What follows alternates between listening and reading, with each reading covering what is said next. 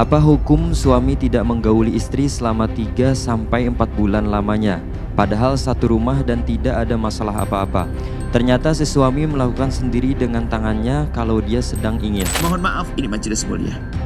Jika seorang wanita mencari kepuasan dengan tangannya sendiri, maka itu dosa.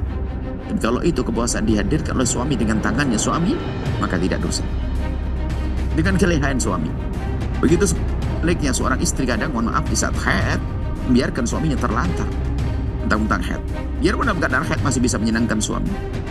Jika ada seorang laki-laki mengeluarkan air mani dengan tangannya sendiri, hukumnya dosa. Tapi kalau dengan kelehaan tangan seorang istri, maka menjadi tidak. Artinya,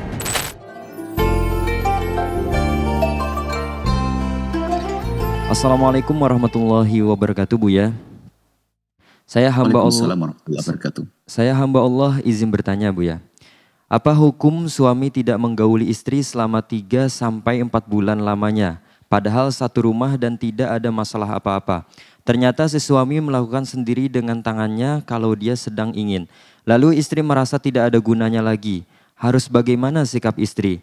Dan jika di rumah suami sibuk dengan HP-nya. Terima kasih Buya mohon pencerahannya semoga segera terjawab. Wassalamualaikum warahmatullahi wabarakatuh.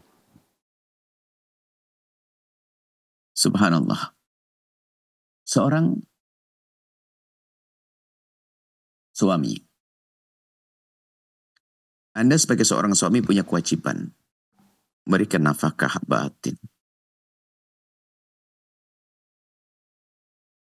Dan Anda harus berpikir, untuk masalah nafkah batin bukan sekedar di saat Anda mau, kemudian Anda memberinya. Kalau Anda tidak mau, lalu Anda tidak memberinya. Akan tapi masing-masing dari kita harus memperhatikan pasangannya. Apalagi sampai mohon maaf ada seorang wanita yang punya hajat semacam itu. Ternyata seorang laki-laki tidak mau menyentuhnya. Tidak mau melakukannya. Selagi tidak ada udur-udur karena sakit dan yang lainnya, maka dia dosa. Sebab dalam termasuk hikmah dalam pernikahan adalah untuk memuaskan urusan syahwat dengan cara yang halal. Memuaskan urusan syahwat dengan cara yang halal. Nah, akan tetapi kita kita perlu melihat perlu melihat apa sih sebabnya terlebih dahulu. Jika sebabnya mohon maaf ada ketidakmampuan atau bahasa yang sering impotensi dan sebagainya. Maka hendaknya harus coba berobat semuanya. Ada seorang laki-laki yang menemukan diri yang lemah seperti itu. Padahal di saat ditanya dengan sendirinya dia ada hasrat, ada syahwat. Akan tapi ternyata juga tidak mau berusaha untuk berobat. Dengan bermacam-macam cara ada usaha. Karena usaha yang dilakukan pun mengembirakan bagi seorang istri. Tapi ada yang orang ogah-ogahan. Sudah tidak pernah memberi, tapi subhanallah. Berusaha pun tidak. Atau mungkin masalah psikologi. Masalah psikologi, ini harus ada ke komunikasi yang sifatnya bukan komunikasi lesan ya, komunikasi perilaku. Ada seorang laki-laki mungkin di saat menggauli istrinya itu sudah keburu keburu lemas atau keburu lemah tidak mampu. Kenapa? Mungkin pernah mendengar kalimat dari istrinya yang merendahkan dia dalam urusan hubungan suami istri. Bukan motivasi, bukan sanjungan. Begitu sebaliknya, seorang laki-laki, seorang perempuan bisa saja di saat berhubungan dengan suaminya, akan menjadi terasa dingin dan sebagainya karena mungkin psikologinya. Pernah dipukul oleh kalimat suaminya, misalnya apa? Kamu punya itu begini, tidak menarik bagiku atau apa, atau kalimat yang merendahkannya. Atau seorang laki-laki, seorang perempuan berkata tentang suaminya, ah milik kamu begitu, tidak begini. Yang menyujukkan bahasa itu merendahkan. Maka sehingga seorang suami di saat ingin menggauli lagi nanti teringat jangan-jangan nanti yang muncul kalimat seperti itu. Itu pasangan yang dosa. Merendahkan, menyakitkan itu.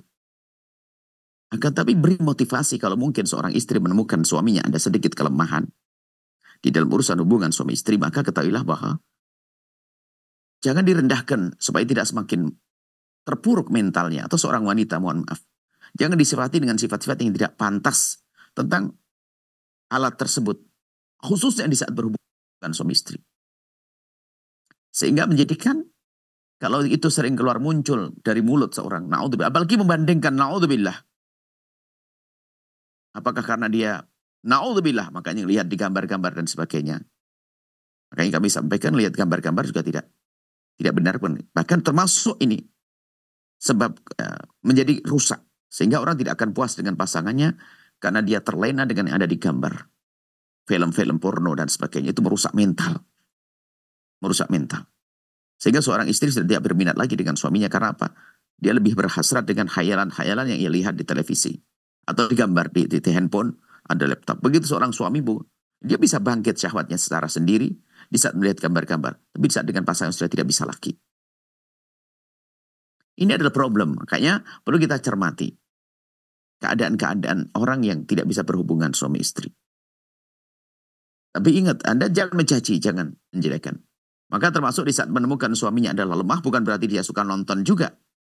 Belum tentu. Kami hanya tadi menyebutkan Anda sering nonton film kotor menjadikan kadang lemah urusan-urusan hubungan.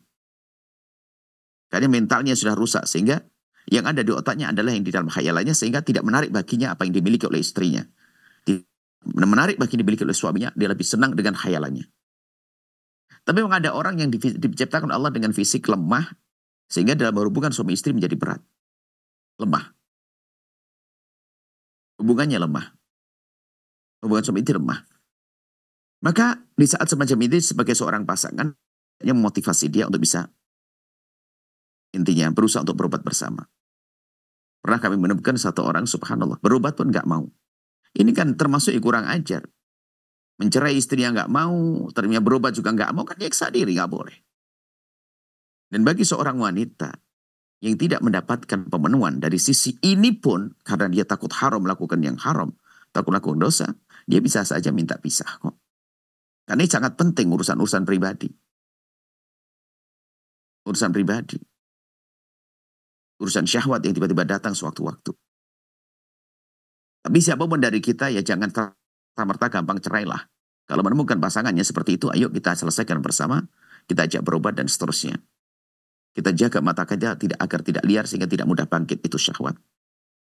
Nah ini yang harus kita hadirkan bahwa uh, kemudian ini yang terakhir siapa pun anda wahai wanita wahai suami jika ternyata secara dengan fit alat anda anda tidak bisa memenuhi pasangan anda anda tidak boleh ogah-ogahan untuk menyenangkan harus anda punya ide-ide cemerlang bagaimana menyenangkan pasangan karena Allah Mungkin Anda tidak bisa berhubungan langsung dengan alat Anda karena Anda lemah misalnya. Tapi Anda bisa menyenangkan seorang istri dengan sanjungannya, dengan ciuman, dengan keahlian Anda.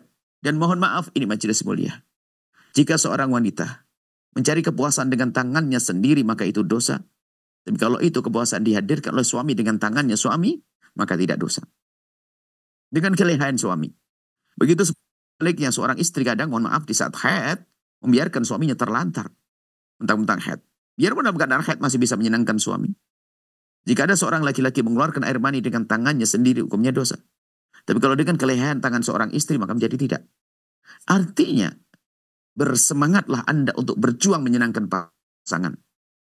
Anda jangan menjadi wanita yang tidak cerdas. Jadi laki-laki tidak cerdas. Nah ini hati-hati. Kadang-kadang mohon maaf cuek. Ya, seperti yang ditanyakan tadi, subhanallah. Tidak juga dia manja suami istri, memeluk istri, memuaskan dengan apa yang ia miliki. Kalau seandainya pun dia tidak mampu melakukan hubungan suami istri. Tapi kan masih bisa menyenangkan istri. Tapi kalau tidak, ya ini sebuah kedunguan. Kewajiban. Seorang istri pun juga demikian. Nah ini. Maka semoga yang yang di, yang bermasalah tadi mendengar suara ini. Ingat itu istrimu. Dosa di hadapan Allah. Anda kalau sudah berusaha, lain cerita. Biarpun Anda belum bisa melakukannya, Anda sudah berusaha, Anda sudah tidak dosa di hadapan Allah. Yang dosa adalah Anda biarkan dan terlantar dia.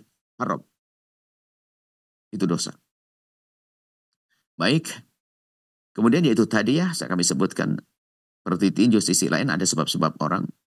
Karena ada suatu ketika ada seorang laki-laki ngadep kepada kami. Kami sudah tidak bisa lagi berhubungan dengan istri. Kenapa?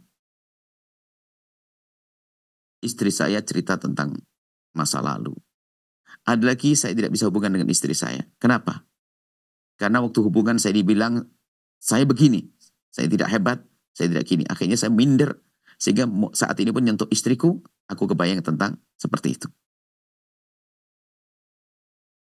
Maka ketahuilah wahai hamba Allah, jangan sampai kita keluar kata-kata yang menjadikan pasangan kita menjadi minder, sehingga keminderan itulah yang menjadi sebab lemah mereka di dalam melayani pasangan. Karena apa?